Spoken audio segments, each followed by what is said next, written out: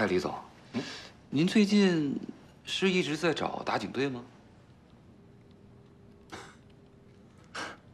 您怎么会这么问呢？哈，最近有人跟我说啊，说咱们智恒地产的人一直在钱国村打听打井队的事儿，所以我想说，如果李总需要的话，我可以帮你们介绍，省着你们下去找麻烦。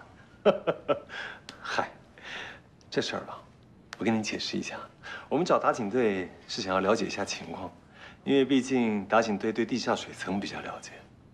李总怎么突然想了解地下水层了呢？是这样，前沟村看起来生态不错，但是植物生长的都不好，那么我们就不能够不怀疑是地下水层遭到破坏。我们志恒做的是养老地产，关心的是未来居民的健康问题，所以土壤、水源是不是遭受破坏了，这是我们首先必须考虑的。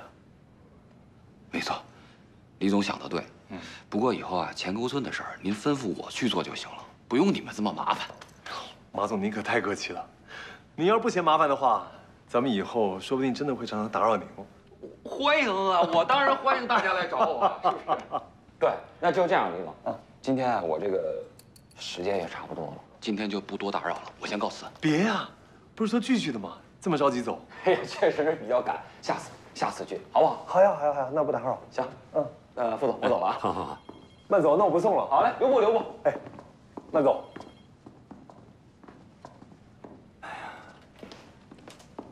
马总，慢走啊。李总，今天说破了，会不会打草惊蛇呀？咱们想要调查的事情就查不出来了。像马克这样的人，首先不需要我们查，其次也不会让我们查到什么。他今天来，无非就是希望我们知道，我们在钱国村的一举一动。都在他的监视之下，所以我干脆打开天窗说亮话，看他什么反应。那他会做出何反应啊？他是环保明星，如果真有什么违规的事实，很多人都会打脸的。所以他现在应该是去寻求保护伞，辗转给我们施压。那可就麻烦了。一点不麻烦。如果真的是这样。就表示他心里有鬼，咱们就更加应该找出证据来。